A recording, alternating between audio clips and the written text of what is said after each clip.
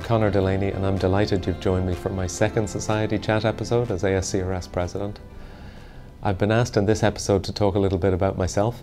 So as my accent gives away, uh, I was born in Ireland, uh, although we spent a couple of years living in London, as I'll, I'll mention in a moment. I grew up as the eldest of five with four younger sisters, so that meant I was the quiet one at the dinner table, uh, listening and not talking too much. My mum was a physical therapist and my dad was a colorectal surgeon, so when I was uh, a young boy, we ended up moving to England for a few years, and my dad trained and spent some time at St. Mark's in London.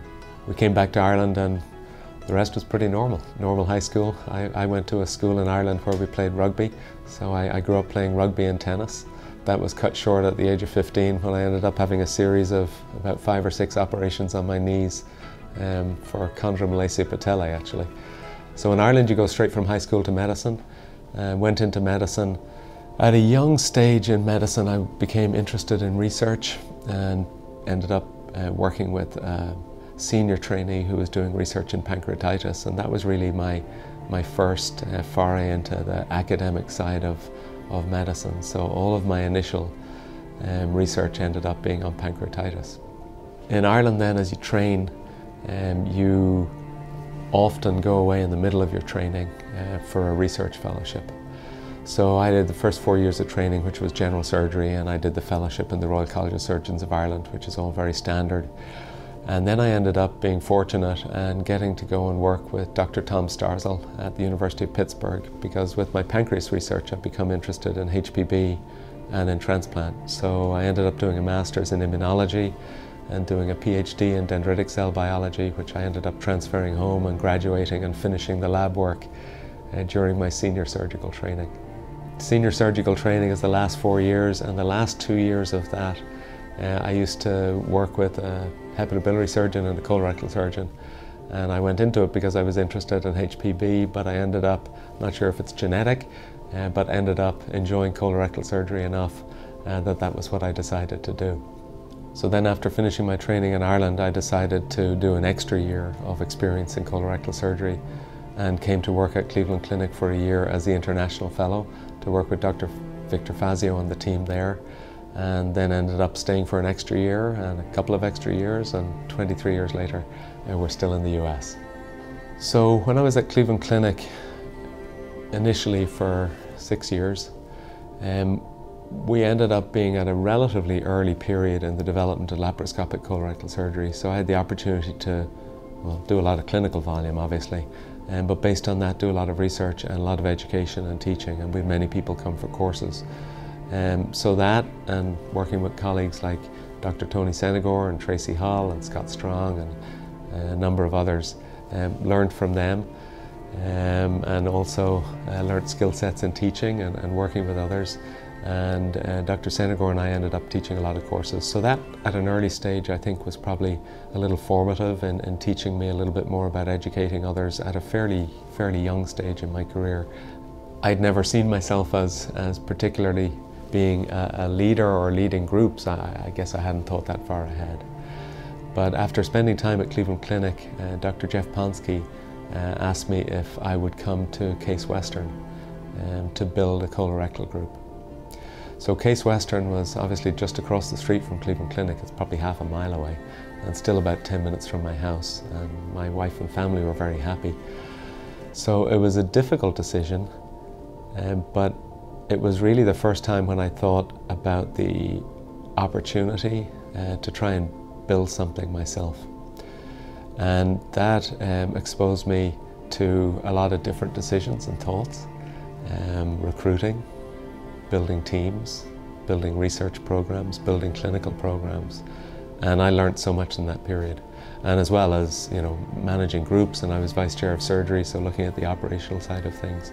So my, my foray into to leadership uh, was really um, something that came through an opportunity I was exposed to. And I think that's always been one of my learning lessons is to explore new opportunities as they come along. So working with the group at Case Western, I became really interested in operations.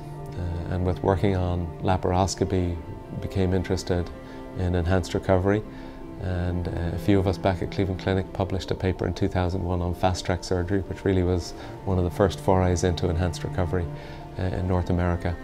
But it learnt me a lot about operations and length of stay and um, trying to be efficient in how we, we care for groups. And so it added uh, a skill set, for want of a better word, certainly an interest uh, around leadership.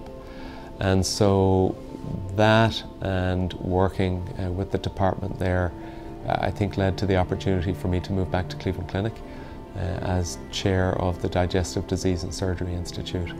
And that was a, a phenomenal group of colorectal surgeons, obviously, but also gastroenterologists, general surgeons, trauma, pediatrics. That at another level exposed me to working with bigger groups and, and you, you learn a lot of different skill sets and managing conversations and helping people. Probably before then, but certainly at that stage, I, I realized that what was most important to me was teams uh, and people and building teams and helping people succeed. Uh, and that's, that's really what I've tried to do. Um, all along that journey, I had the chance to uh, be part of ASCRS. And that was a, a, parallel pathway that was really so fulfilling. I think we have an amazing society. I have so many friends throughout the society, all around the US, and people I know, and, and look forward to the meeting so much. And I think it gives you an extra opportunity to learn from others, to see how others do things, um, you, you can always learn from others. And I then started participating in committees and had the chance to lead certain committees.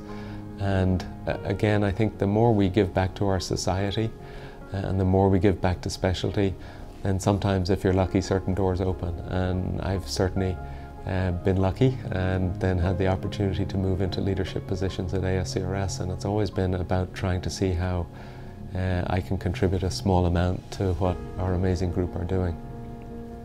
Well, my family is the most important part of, of everything. So I have a 26 year old son. Uh, Peter is a third year medical student. Um, we'll see if he ends up doing colorectal surgery, but at the moment he wants to do orthopedics. And I have a daughter who's 24, and Michelle did a master's in business analytics and is in risk and fraud banking uh, and has an amazing career ahead of her incredibly proud of them. Uh, but I've been incredibly blessed in the time we've had to spend together coaching soccer teams, traveling on trips, and, all of it's been founded on the support I've had from my wife Claire. Uh, we got married just before we went to Pittsburgh. I meant, mentioned we went to Pittsburgh for a couple of years research. Actually, when we came back to Cleveland, we had two young children. Uh, Peter was three and Michelle was one.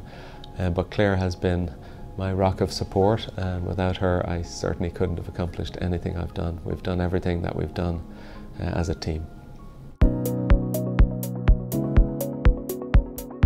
So now we're going to move into something that we'll start to do regularly. I thought it'd be interesting for us as a society to hear a little bit more from the incredible committees we have uh, and their leaders to understand some of the work that's going on throughout the society and throughout the organisation.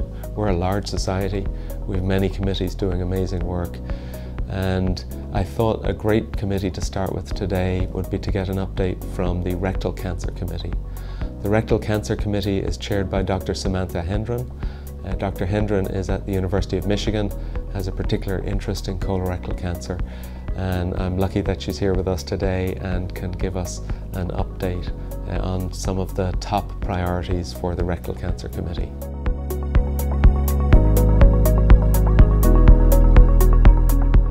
The mission of the ASCRS Rectal Cancer Committee is to promote high quality surgical care for rectal cancer in the United States. We have three main strategies for accomplishing this mission. The first is that we um, we do updates and um, and continuously improve the fundamentals of rectal cancer surgery course. And the second strategy is that we serve as the liaison between the ASCRS and the NAPRC, which is the rectal cancer accreditation program housed within the American College of Surgeons Commission on Cancer. And then our third strategy is to um, is basically to be content experts in rectal cancer care and to share new uh, developments in rectal cancer care with the membership of the ASCRS.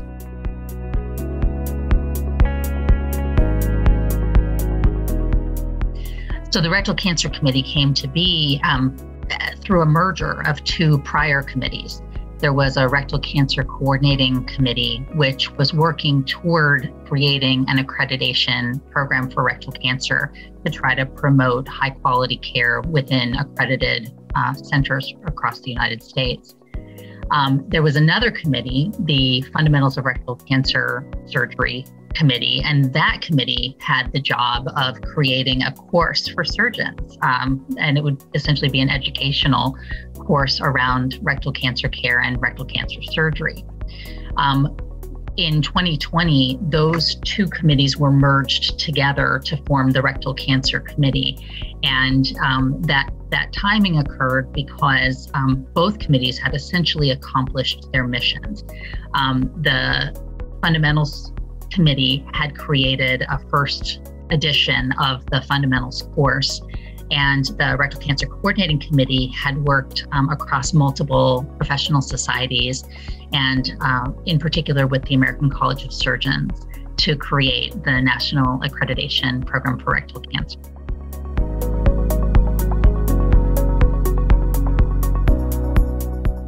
So, the fundamentals of rectal cancer surgery course was launched in the spring of 2021. So, it's been out for a little more than a year now.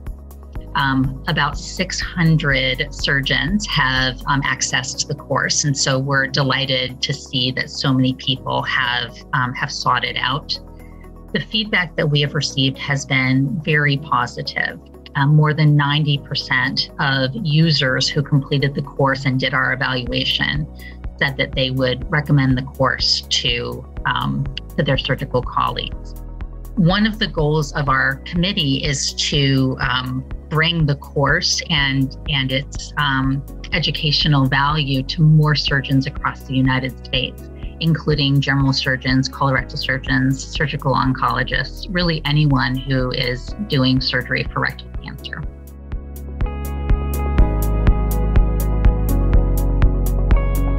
The Rectal Cancer Committee of ASCRS is a liaison between our society and um, the NAPRC, the National Accreditation Program for Rectal Cancer. The NAPRC was formed um, several years ago, and it lives within the American College of Surgeons quality programs, and specifically is under the umbrella of the of the cancer programs uh, within ACS. Um, the NAPRC is an important tool for improving rectal cancer care in the United States, and we see our society as being this uh, as being a really important part of um, of bringing content expertise to the NAPRC as it um, as it changes over time. Um, many of our committee members are also involved in the steering committees for the NAPRC. So we really see our committee and NAPRC as partners in um, promoting high quality care for rectal cancer. Um, them through the accreditation program and us through our educational and um, liaison function.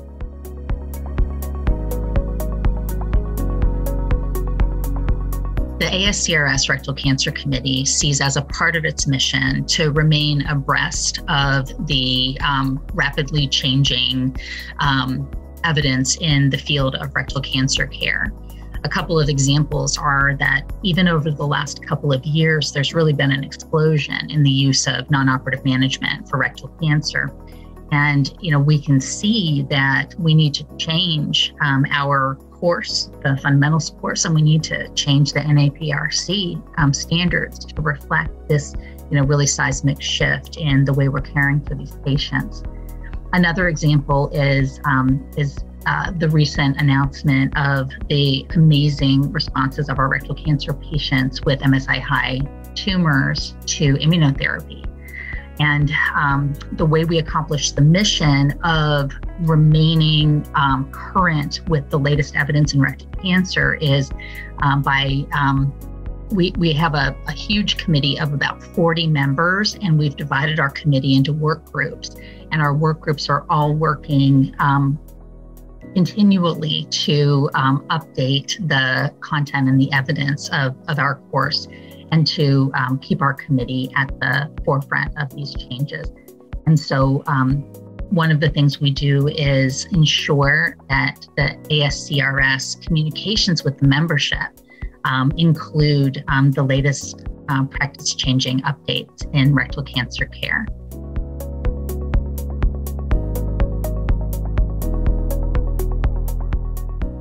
people will often ask what can we do to improve the quality of care for rectal cancer as as practicing surgeons and you know what i what i encourage people to do is is to consider um, you and your colleagues um, participating in the fundamentals of rectal cancer surgery course which you know really contains um, a wealth of information from um, the most you know from the most straightforward cases to the more um, complex and esoteric cases. And it contains um, helpful videos and uh, content, which I think is really valuable, even to surgeons who do a lot of rectal cancer care themselves. I also think that um, engaging with the NAPRC standards is valuable for sites that are seeking accreditation and even sites that are not. Um, what NAPRC focuses on is the multidisciplinary care, which we know is so important for rectal cancer. And, um, and so um, familiarizing yourself with the uh, NAPRC standards, which change every year or two, um, to keep up with um, changes in practice. Um, and, and within your own center, seeking to adopt the standards of NAPRC toward accreditation or, or even not. Um, those, those incremental changes um, will improve the care of your patients, um, you know, a- across the whole um, course of therapy.